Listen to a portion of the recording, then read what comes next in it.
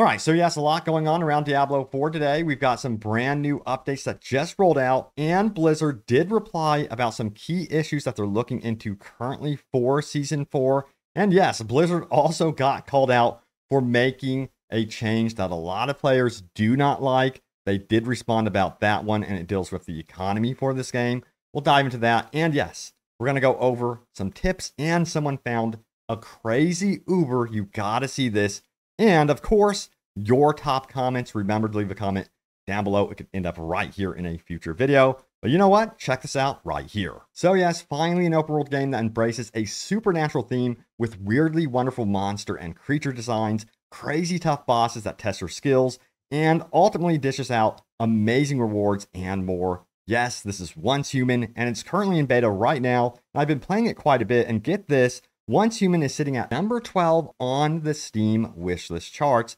So be sure to wishlist it right now on Steam by following the link in the description below and sign up to the beta at oncehuman.game. And let me tell you what, the dev team creating this game have been hard at work crafting an open world full of mystery, adding all sorts of amazing new features, including deviants, which are similar to pals from PAL World, but think horror pals this time around. There's a deviant for every use from combat to helping you farm resources, and they can even heal you in battle. But that's just only some of the features Once Human has to offer because this game has a lot. We're talking about an extensive RPG and progression system, weapons you can craft with crazy modifiers like this MP5 here. Check out how the bullets can spread from one enemy to another. And yes, you've even got an entire base building experience and you could do all of this with a group of friends, or hey, make new friends along the way and form a clan. So again, join me on my adventure in Once Human. Wishlist it right now on Steam by following that link in the description below, or sign up to the beta at oncehuman.game. Check it out. All right, as always, let's start with the official stuff here. We've got an update from Adam Fletcher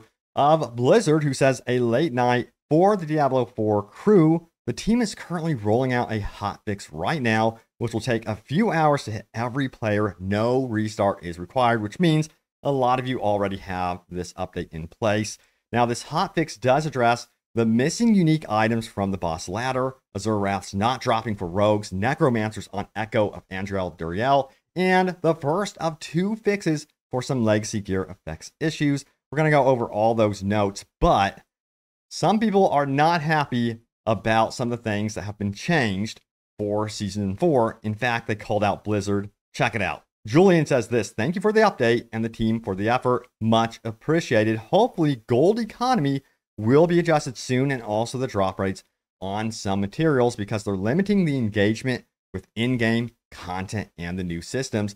Then we have Vandalorian who says they're doing it on purpose to bottleneck everyone. It's literally making the game unfun. I guarantee you this was raw work since I did. Full stop. Now it says in the past, leveling took so long because there was no in game in order to obtain longer in game time metrics. But now that people voluntarily spend more time in game because they enjoy it, it doesn't make sense to slow us down. People will most likely do more than one character anyway. Here is the response from Adam Fletcher, who says the team is having some internal chats about the gold and prism items we've been seeing. And there's been a lot of complaints. Well, not a lot, some complaints about Prisms and Gold, how it's currently working uh, right now. And it looks like the team is wanting to perhaps adjust this in a future update. Hopefully, they could, could perhaps roll that out soon. I guess they're gauging the response from the community. But how are you guys feeling about Prisms and Gold currently? Sound off. Now, yes, a new patch did roll out. Here we have the patch notes right here says user interface and user experience. NVIDIA DLSS frame generation, a setting available to players with NVIDIA 40 series graphics cards, has been temporarily disabled due to stability issues. So if you're wondering where that option went, it'll be back eventually. Now, also, there's some bug issues uh, where evade didn't function properly for players using full keyboard controls, and then various updates to performance and stability issues as well. Now, we did have that hot fix. Let's dive into a little bit more about that as well.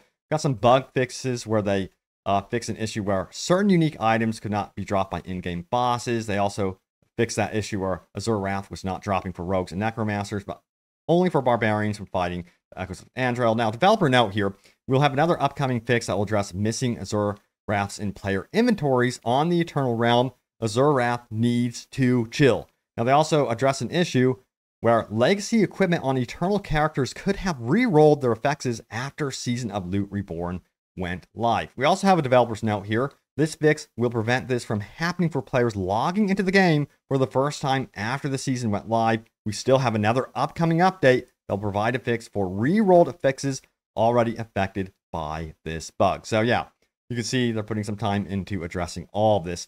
Now, we also have some things that they are currently looking into. Right here, we have Adam Fletcher saying, Thanks to everyone for jumping into season four. We have been behind the scenes reading through the comment sand posts and wanted to provide an update on some of the larger items we are tracking here. Let's take a look at the actual post and dive into this a bit more. Heading on over to Blizzard, it says missing resplendent sparks on Eternal Realm. As you can see from the thread, the team is working on an issue regarding resplendent sparks not appearing on some Eternal Realm characters. It is some because the team applied a hotfix the other day to stop this from occurring on any new player that logged in for the first time in Season 4. We'll have a solution to share in the coming days for all players that are missing resplendent sparks from this issue. And then there's some issues with the resplendent sparks on the first Echo of Lilith kill that they are aware of. They're investigating this as well. They're doing some uh, confirmations and testing, and they will give some more findings soon. Legacy gear was modified at the start of this season as well. So replied back to this issue the other day that we were investigating these reports and we have found a bug with legacy gear. We're looking to stop this occurring in our next hot, hot fix, excuse me, in the next 24 hours and we will follow up with a separate hotfix that will fix any gear that was affected by this. And yeah, look at this. It says update. This has been partially addressed in hotfix 1. We'll have another hotfix to correct any gear that was affected by this bug in the coming weeks. And of course, we did go over this about the rogues and necromancers that cannot equip Azure Wrath. They have a fix as well, and then Azure Wrath missing from some Eternal players' inventories and they're going to be looking into that as well. And apparently there's more issues as well on Xbox Series X. We're talking about performance issues, wall and hell tides, and the invisible walls around the map. So Adam Fletcher says this, we know what the walls is and the team is working on it. It's due to the hell worms coming up and sometimes leaving collision after death. So look out for a fix if that is really annoying you right now. And camera distance, let's talk about it. We have camera distance setting cannot be saved on PS5. I have to change it too far every time I play, which is very annoying. And they are aware of this as a bug on consoles currently. Seems like it also perhaps exists on Xbox. And they are going to be fixing that one, it looks like. So, yeah, if you're dealing with that, don't worry. They're going to have that fixed down the road. Now, let's get into some very important tips and tricks. First of all, PSA, temper your items first, then enchant it. You just got a great piece of 925 gear with two out of the three stats you want. You enchant it, and after spending a ton of resources, you finally nail the stat you want. Time to temper it, right? You roll a bunch of tempers, but don't get the one you want and are out of rerolls. You now have an Iron Maiden temper and don't even use Iron Maiden. The item is bricked and you wasted all that money enchanting. Temper your items first, get the two tempers you want, then go for the enchant. If you fail the tempers, trash it and look for another item. You can always keep enchanting. Tempers run out. Some excellent advice right there. But yeah, we also have some opinions on this one as well. Let me know your take though. Check it out right here. It says, That is a very sensible piece of advice but I would like to add I've seen a lot of posts on here with people referring to an item being bricked by tempering. It's not bricked as it will still be usable just as it was before you tempered it, will just have a useless stat on it. Using the term bricked indicates it's now completely unusable, which won't be the case. So advising people to trash the item isn't good advice. Use the item if it's good, farm for a new one for tempering. And this stirred up a conversation. Let me tell you what it says a useless stat bricks the item, my man. So, yeah, your take on this one. Do you think an item, piece of gear, weapon becomes completely pointless uh, and you just get rid of it if it has one stat that is unusable? Sound off.